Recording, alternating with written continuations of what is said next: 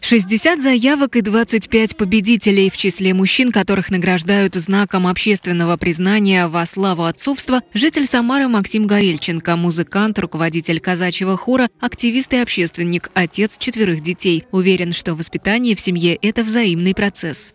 Наши дети верят, что наша мама самая красивая, самая добрая, папа самый умный, самый справедливый, самый сильный. И мы такими становимся для них. Понимаете, они нас делают, а мы их за собой тащим. Это такая совместная работа, очень интересная. Вот. И мы идем по жизни и радуемся общим успехам.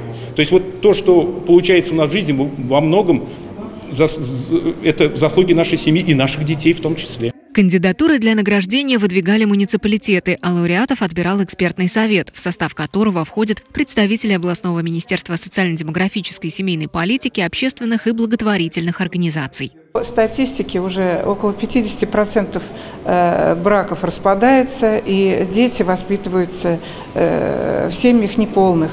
То есть э, без пап в основном все время воспитания ложится на мам. Вот прервать как бы вот эту вот цепь э, э, таких вот э, разводов, э, показать э, другие возможности, и что семья может быть полноценной, какие бывают замечательные отцы, вот цель этого мероприятия. Если мы с вами говорим о развитии Самары, любимой Самарской области, мы, конечно, должны рассказывать о истории семей, которые формируют вот это большой вклад регионов в будущее и в историю всей страны. А, конечно, вклад региона невозможен без вклада семьи, а семья – это семья, это папа, мама и, соответственно, пятеро детишек.